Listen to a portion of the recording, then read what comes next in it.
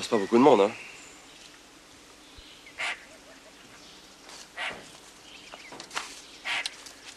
Bon, c'est décidé, on s'en va. Pas question. C'est une connerie d'attendre ici. On n'a pas vu une voiture depuis hier, on peut attendre des mois. La règle numéro un, c'est de ne pas s'éloigner de la voiture. On ne bouge pas d'ici. J'ai la responsabilité de cette mission, c'est moi qui prends les décisions et je vous dis, on bouge. Et moi, je vous dis d'aller vous asseoir dans la voiture et de ne plus m'emmerder, c'est un ordre. Un ordre. Vous me donnez des ordres maintenant. Je vais vous ramener vivant, Perrin. Faites ce que je vous dis. C'est moi le chef de cette Vous expédition. n'êtes rien du tout. Comment? Vous savez pourquoi on vous a choisi?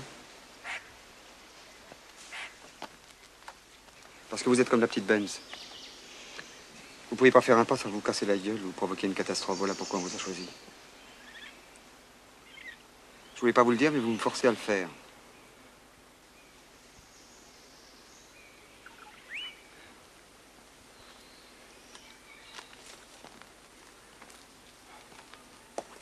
On est paumé en pleine brousse parce que l'autre dingue, là, Meyer, a des théories sur la malchance. C'est pas vrai. Mais si, mon pauvre vieux. Votre sagacité, votre esprit déductif, ils se sont foutus de votre gueule. Je suis désolé de vous faire de la peine. Mais je ne veux pas qu'on vous retrouve à 20 km d'ici, mort d'épuisement. Installez-vous dans la voiture et essayez de dormir. Je vais vous casser la gueule, campana. Pas m'en vouloir, Perrin. J'étais pas d'accord avec eux. Défendez-vous. Faites pas l'idiot, vous allez vous faire du mal.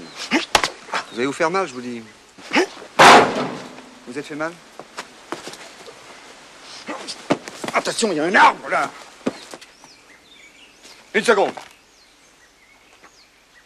Voilà. Vous pouvez y aller. Ah, ça va maintenant, calmez-vous